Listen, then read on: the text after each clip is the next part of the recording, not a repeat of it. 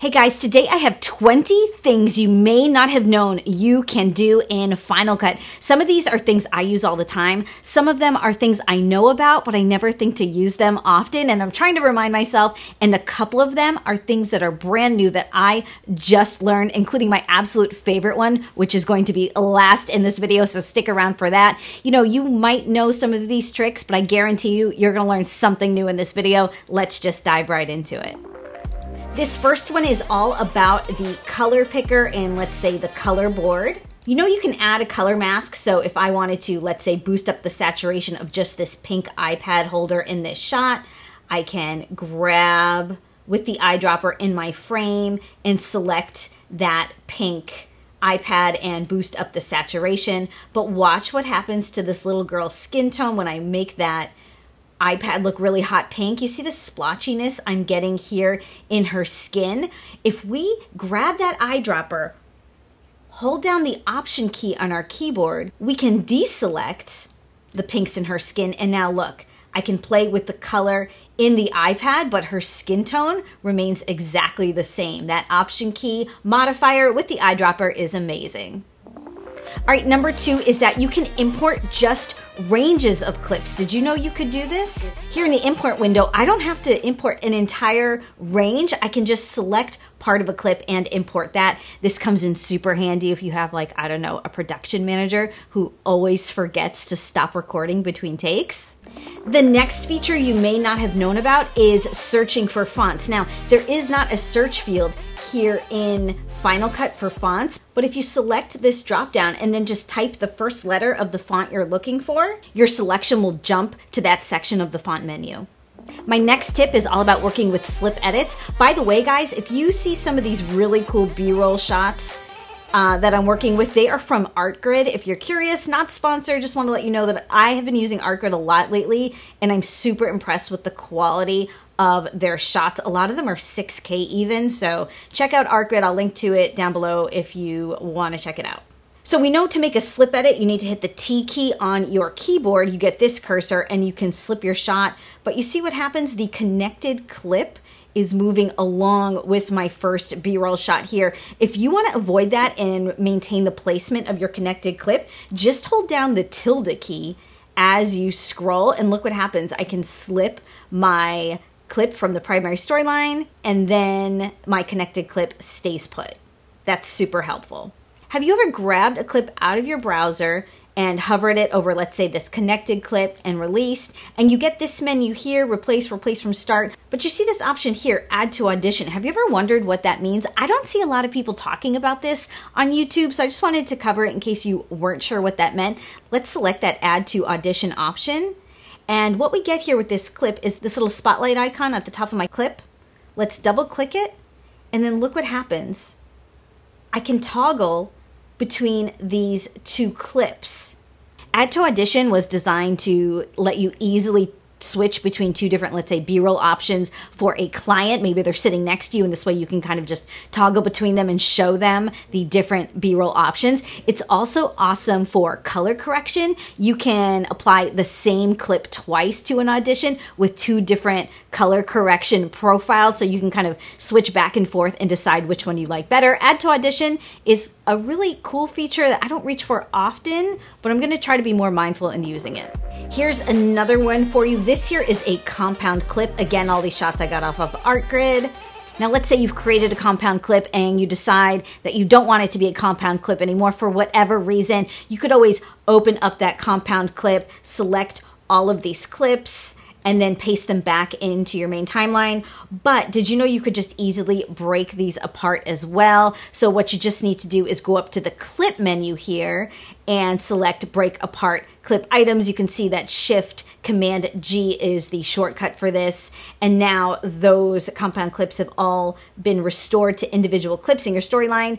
The one thing I would warn you about doing this is that once you apply a filter or effect to that compound clip, when you break it apart, that filter disappears. So unless you work a lot with adjustment layers, this might not be that great of an option for you. Get your pen and paper, guys, because this is definitely one you're going to want to write down. You see this connected clip here where the connection point is. It's kind of almost toward the middle of the clip. If I wanted to move it to the top of the clip, watch this. I just press Option and Command at the same time and then click in my clip where I want that new connection point to be. And look, it's jumped to the front of my clip. One weird thing about this is that if you have caps lock on, it doesn't seem to work.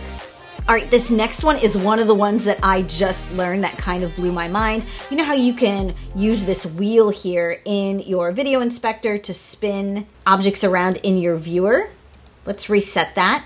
Watch this. If I hold down the shift key as I spin that wheel, my clip rotates in 45 degree increments. Isn't that wild? I never knew about that one. Thank you to Mark Spencer for telling me about that. Here's another one I want to show you guys. I can drag in a PSD file. This is a Photoshop file into my library and add it to my timeline. And then if I double click the clip in my timeline, look, all of my different layers are here from Photoshop and I can turn on or off those elements individually or add filters to them individually this is a great workflow with PSD files. All right, here's one for you. Have you ever noticed that you can modify the tracking in your text inspector, but you can't keyframe the tracking, so you can't have that look where the letters gather in? You actually can do that in Final Cut. Let me show you how. Just head over to your titles and generators sidebar, grab this one here, custom, drop it into your timeline. I'm gonna cue up my playhead to the very beginning of the clip, and then over here in my title inspector, I can crank up the in tracking and let's say the in spread and play it back. And there is your gather in behavior. I like to just add a little cross dissolve at the beginning of that. And there you go. That's how it's done in Final Cut. Here's another great little shortcut you might want to know. A lot of times, different transitions will have different default lengths when you apply them to your clips. So, if you want to make them all the same length together at the same time, just select them all and hit Control D and type in a new value and they will all snap to that length. Another feature you might not know that Final Cut offers is that they give you a lot of different sound effects for free if you know how to access them. To access them, you just need to head up to Final Cut Pro at the top left of your screen and select this guy here, download additional content and then just update. I'm already up to date here, so your screen might look a little bit different than mine if you have not downloaded that additional content. And then to access those sound effects, just go to the photos, videos, and audio sidebar here. And under sound effects, these are all the different sound effects and music clips that Final Cut gives you for free. All right, before we get to my next tip, if you're enjoying this video, if you're learning something, and I have to believe that you are, let me know. Give me that thumbs up, hit that subscribe button, ring the bell so you never miss a future upload. My next tip is a bit of a hidden feature in Final Cut that has to do with text. If you open your text inspector when you've got a title in your timeline, select this little drop down menu here that says normal. And look, there's all these different 2D and 3D styles that are preset for you, and then you can customize them from there.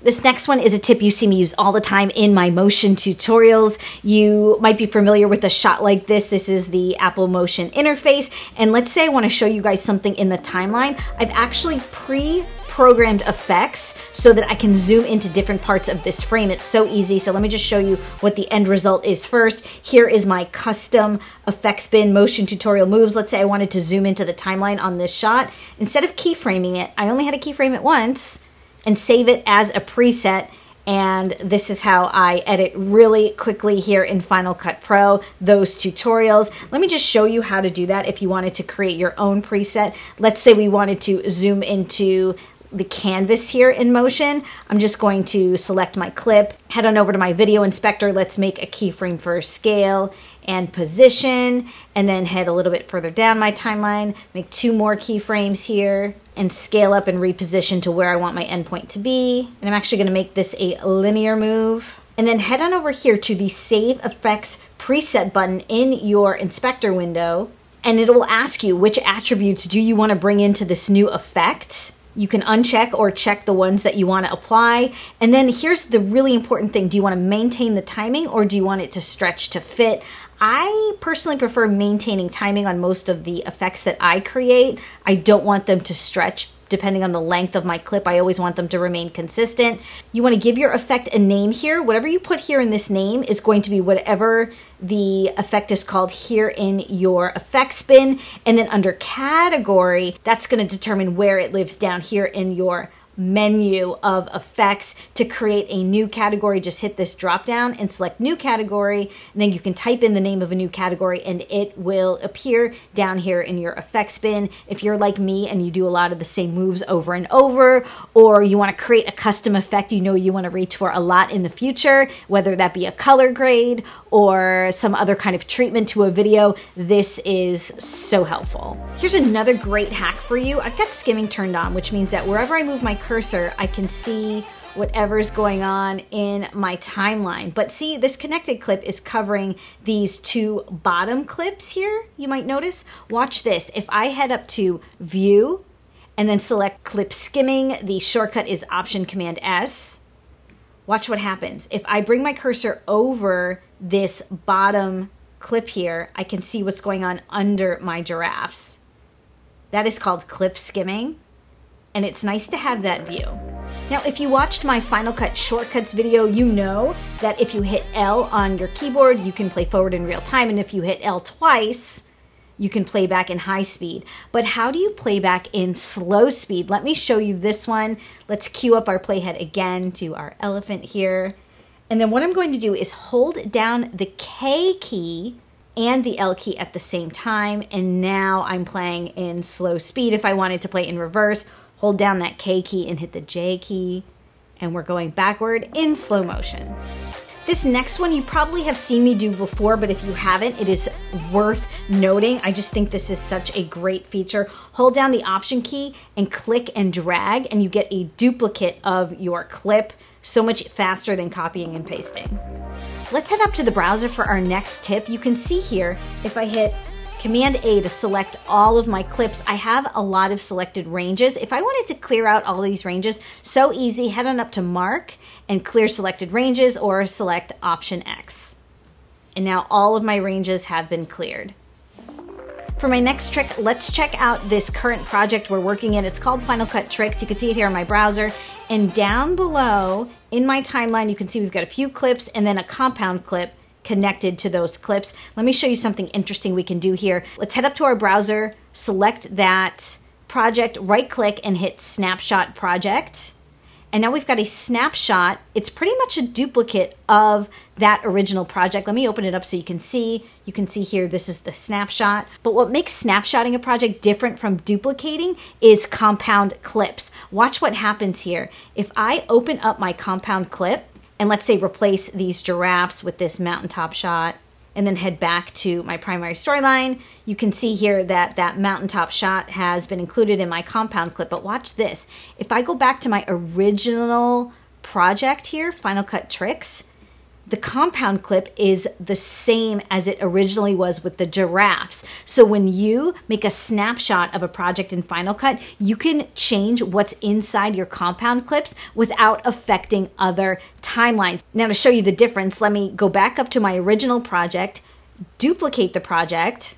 Now it's called Final Cut Tricks 1. Open that up, open up that compound clip, and let's put in this city shot instead of these giraffes. Go back now this is our duplicate project. There's our city shot. Let's go back to our original project. And here in the compound clip is that city shot. So the difference between duplicate projects and snapshot projects is that you can change elements in compound clips in snapshots and not affect all the rest of your timelines. That can come in so handy when you're working on different versions of a project. Snapshot it, don't duplicate it. And now it's time for my absolute favorite Final Cut trick. This one was shown to me very recently by Nick Harauz at Boris FX, and I don't think a lot of people know about this one, and I cannot wait to show it to you. We're gonna start with this beautiful shot of this elephant I got off of ArtGrid. And you probably know, let's say if we head over to the blurs in our effects bin, that if you hover your cursor over the effect you're thinking about applying, you can kind of see what that effect is gonna do to that shot. But watch this. If I hold down my Option key, okay, and then I'm gonna push my cursor to the right, watch what happens in my viewer that elephant gets more and more and more blurry. I can change how affected the clip is right down here in the effects bin. And then when I find a blur that I like, let's say right here, I just double click and look, the amount is set here in my video inspector to the amount I selected in the bin. And of course I can change it if I want, but that's a really quick way to apply effects without having to go over to your video inspector. You can do it right in the bin.